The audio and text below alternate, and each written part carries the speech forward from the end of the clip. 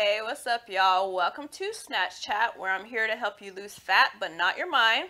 I am Tiffanie, certified personal trainer, nutrition specialist, and I also happen to snatch some bodies, okay? Um, so today we will be talking more about quarantine. Uh, last time I told you some behaviors that you could take, uh, three things that you can implement that will help you with your either weight loss goals or maintaining um, and not gaining weight for the quarantine, uh, this whole coronavirus scare, and all of that. Um, you can find that video link below. Uh, but today I wanted to get more into specifics with nutrition. Okay, so uh, just recently, not too long ago, I released a caloric deficit guide uh, to kind of make the point that it's really the most important thing.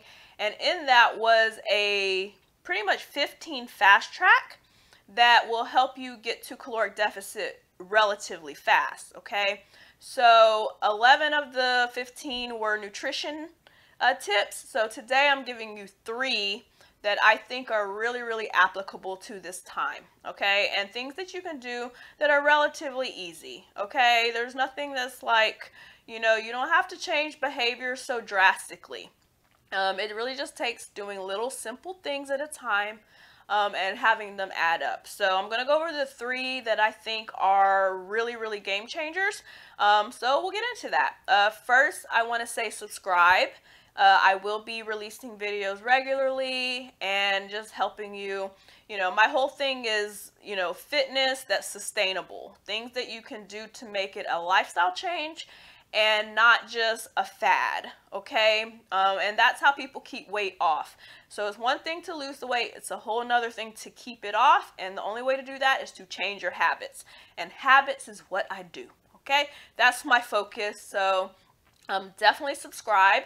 And make sure you get the three workouts that I have. So I put together three full-length workouts that I'm giving away totally for free. Uh, just to get people active and in between you know getting the workouts i do dish out some nutrition um, advice and also a little bit of mentality and habit stuff so um, definitely make sure that you check those things out okay so let me look at my notes oh yes that's the other thing um, as I said before, this is a chat, which means I am, you know, casually talking. I have notes in front of me. I'm trying to keep these as short as I can. Um, so basically, it will be in a format of me just going to three different points, okay? But I will be looking at my board every now and then. I will get better at keeping my eye on the camera, but you know, cut assist some slack, okay? I'm I'm going to master this whole thing. it's just new, so I need me some notes. Okay, I probably always keep notes. Um, and also, this is how I do my workouts. So it's always raw. It's always me. That's how I do my subscription. Uh, my members seem to love it. My clients like it. So I'm gonna stick to what I know. Okay.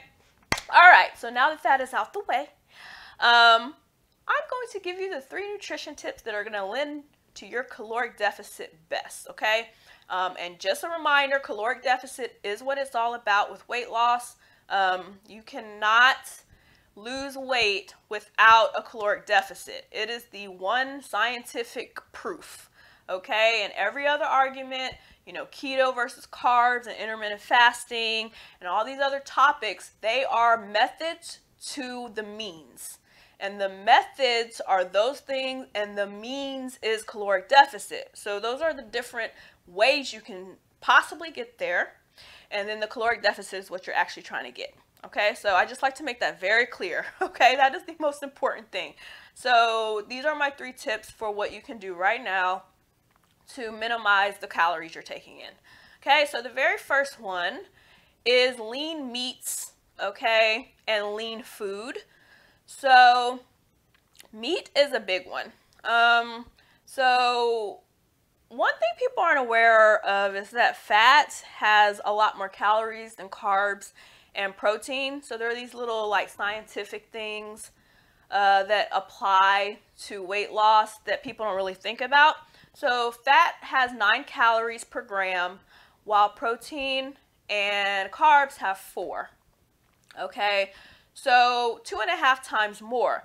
And that's the reason low fat diets have been pretty much the rule of thumb since the beginning of time. Even though I know recently a lot of these other diets have kind of sprouted up that aren't so low fat, but in general, the reason why low fat has always been the kind of, you know, recommendation is because most fattening things have a lot of calories. So, one of the things you can do to minimize your caloric intake is to eat leaner meats. And what I mean by that is less fattening ones. So, first, that is less pork and less beef because those are very high in fat for the most part and very high in calories. Um, and also, they're really they're relatively not great for your heart. Okay, I don't want to say bad for your heart. Moderation is a thing, but you know they're not ideal for chronic diseases and uh, your heart and for fat intake. So there's plenty of reasons to kind of stay away from those, and then picking leaner meats when you do. So uh, chicken is a great example. So chicken isn't as damaging, but there are better parts of the chicken than other parts of the chicken. Um, one of the biggest keys is to try not to eat skin. So chicken thighs with skin, let's just use that for an example. A chicken thigh with skin for just a four ounce piece, okay, you're looking at like 15 to 17 grams of fat, um, hundreds of calories in just one piece if you got the skinless, boneless ones, okay, for sure, it cuts the fat by almost three. So you're looking at like six grams of fat per four ounces. Little things like that. The skin is always a thing. Same thing goes with wings. So I know white meat versus dark meat is a thing. Wings is white meat, but the skin on them makes them very high fat. Okay? So the leaner your meats, the better. Um, if you can do chicken breast, that's even better. But the best is fish. um, so the more fish you can eat to, you know, kind of. So this is the thing. You don't have to get rid of anything. Okay, this is just a sidebar. You just want to get into a habit of subbing better things for less better things. So if you're eating steak, say like five times a week, Okay, this is where the chats come in because I just have to think of how, if you're eating steak like five days a week, okay, then lower it to three first and then put one chicken day and then one fish day or something. Like, so you're doing little habits at a time. So I just wanted to make that sidebar, but fish is the best way to go because fish is very low calorie and it's high protein, it's filling, and that's what we're going for. So yeah, that's pretty much my spiel with the actual food and the lean meat kind of thing. Um, and then if you're a vegetarian or vegan, this would apply to things like avocado. So avocado is very, very popular. It is healthy. However, it is very fattening and it's high in calories. So if fat loss is your goal and you're eating a salad with a whole avocado on it, you're probably having a hard time losing weight. It's not about how healthy the food is, okay? That applies to how you're eating, and I will get into that in the next point. And that it does affect how your how your calories, but calories are calories. So whether it's an avocado or a chicken thigh, 200 calories is 200 calories. Just keep that in mind, okay? Which leads me into my second point, which is eat nutrient dense foods, okay? So in the case of an avocado, yes, it has hundreds of calories, but it's satiating, right? So when you eat one, uh, if you eat half of one on a salad with some, you know, chicken and a whole bunch of veggies, you are going to be really full for a long time. And that is where the real secret is for weight loss with nutrient, like, okay, I, you see, this is the stutter, nutrient dense foods. The secret is, is that they make you full okay it's not so much that the food the food is better for you for health reasons but for fat loss the main the main sticker is that they keep you full longer so that being said you should be trying to eat real meals okay, and nutrient dense foods. So grains, whole grains, brown food, okay, um, lots of vegetables, half veggies on the plate is a really good rule of thumb. Um, one of my favorites is Dr. Oz, and one thing he says, which I love, I don't necessarily apply it, I ain't even gonna lie, but he says you should treat uh, meat as the side dish and that vegetables should be the star of the show. Um, and if you apply that, you will cut a lot of calories automatically because vegetables are very, very low in calories and they're very filling, okay? Um, some are more than, than others, and I will get into that point for point number three. Uh, but vegetables as a whole are very, very, very filling. So the more you can eat of them, the less you will eat other things. So um, I think there's a lot of talk about like nutrient dense foods and better foods and what foods are better for you and all this. And there are different reasonings for it, but when it comes to weight loss, it's all about how many calories you're eating total a day. So the less you eat, the better and the lower the calorie intake. Okay, that is the main point to take away. Okay, and then so the third point, which is my favorite point, and a point that I think is understated in fitness, and that is about fiber. Okay, so fiber is secret sauce. Okay, I am obsessed with the fiber point. It, it's become like my favorite thing recently. Um, even as a fitness person, I've only really been following this very like seriously for maybe the last six months, but it really is a game changer. And basically, so when I was studying for my nutrition specialist certification, I came across the section of fiber and to be honest, its whole point is to slow the process of digesting food. that is its whole role in the whole scheme of things. So when you think about that, um, if you if your digestion is slowing that means you are staying full longer right? So basically it just forms like a gel you know in your in your stomach and stuff. I mean i'll, I'll spare you the details but basically it takes a really long time for it to digest okay? Um, so i started implementing it and i started paying attention to my fiber intake. Um, and the first way i did that was with my protein bars. So sometimes i'll eat a protein bar after a workout um, I do prefer real food, uh, but if you have to get to um, some protein fast, you know, protein bars are obviously a method and you want to have protein right away after strength training, by the way. Um, very, very important. Um, anyway, so I started paying attention to my fiber in the protein bars and I would notice that some had 17 grams of fiber and some would have like five, which is a very big discrepancy, right? Um, a lot of times things have similar, you know, caloric, you know, intake or carbs and all that stuff, but under the carbs is dietary fiber.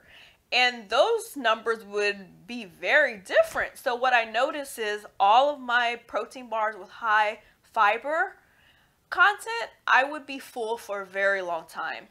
Um, and I would not be as hungry as fast. So I started looking into it, and it's a thing, okay? It really, really does help. So now I pretty much compare things very highly on fiber when picking two things. Um, so that is some secret sauce. Start paying attention to fiber. If there's two brands of something and they're about the same calories and everything is comparative, but one has 15 grams of uh, fiber and the other one has 10, go with the 15. Okay? Um, rule of thumb, it works. It's amazing. I would really, really go with that. Um, and if anything, I would start with that rule. I think it's really, really a good one. no, actually, no. All three of these rules are really good ones. I would do all three, but fiber is like more of a secret sauce one because nobody talks about it. Um, so then also on my list, I have some suggestions of high fiber foods. Okay, so you can find it in oats. Okay, so if you like oatmeal and things like that, uh, you can go for that for breakfast. That's a good way to start your day. Uh, beans. Beans are amazing in general because they just, they have protein, they have, you know, fiber, all kinds of stuff. And that's why when you eat beans, you feel it, right?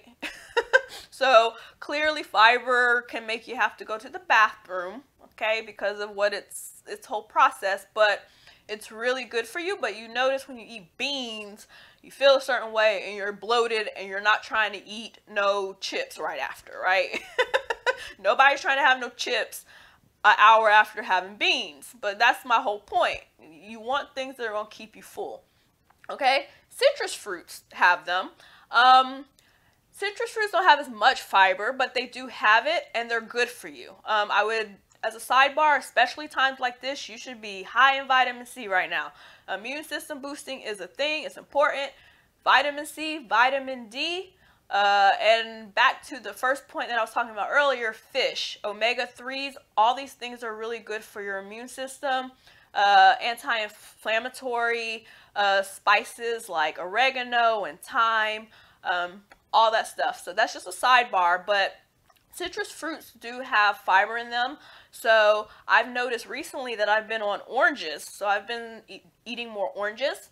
And after I eat an orange, I'm very satisfied. Like I feel a certain kind of refreshment. It's, it's very, very pleasing. And I've never been an oranges person, but lately I'm loving some oranges. so definitely citrus fruits, okay? And then vegetables like Brussels sprouts, um, those things have those things will bloat you right away. And if you ever notice certain vegetables, you feel a certain kind of like you know, that just that bloated full feeling. It's kind of like the same thing you get with water, which is was one of my points last time for the other videos to drink more water. Um, because but water has zero calories, so it's like the winter almost. and you can drink it all day and it replenishes your system. But, you know, that whole thing of eating something or drinking something that actually almost bloats you to where you, you're really satisfied, okay? That is the secret sauce to eat real food, okay? Real food leads to less eating, less snacking, and you're more mindful of the connection, okay? So once you start realizing that when you eat real food that you're not eating like every hour on the hour, you will start to implement change and it will come. Okay, so those are my three points as a recap. You're gonna go to more lean meat and fish. Uh, you know, cut back on that steak and that pork. It ain't good for your heart anyways. We need to do something about that. It's a whole thing. We got to do better with that. Um, nutrient dense foods, half veggies on the plate if possible, whole starches, whole wheats, whole grains, all that good stuff. Um, and then the last one is my favorite is fiber. Okay, so start comparing your fiber rates. Uh, start eating more fiber. Um, pay attention to what it does. And most people do not get their fiber intake, you know, the minimum, you know, needs for it. So definitely definitely want to do that. So those are the three points. I hope you found them useful. I would try to implement at least one of them to start and then maybe you can build or you can go for all three and see which one sticks or see if all three stick or whatever. They're very small changes. They're nothing too drastic and you don't have to do drastic measures with them. Just implement a little at a time and see if you notice a change, okay? Um, other than that, like I said, get your three workouts, okay? Subscribe, all that good stuff. Till next time, take care of yourself and I will see you soon.